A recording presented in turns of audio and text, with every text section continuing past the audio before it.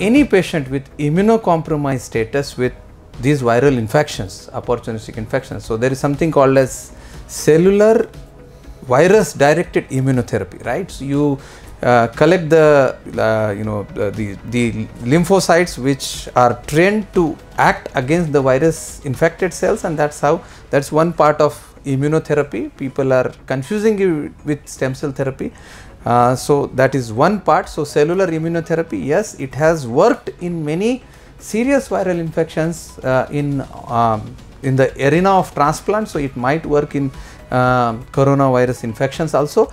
Apart from that, there is something called as an experimental phase of stem cell therapy, where wherein they collect the umbilical cord blood stem cells, which are immunologically naive st uh, stem cells, or mesenchymal stem cells, which helps uh, to heal the affected part by the COVID infection. It is postulated that these, uh, you know, immunologically naive stem cells will go to the area of affected uh, organ and will regenerate the damaged cells and that is how it might work but then uh, there are some preliminary reports uh, coming from mostly from China and Europe and North American continent.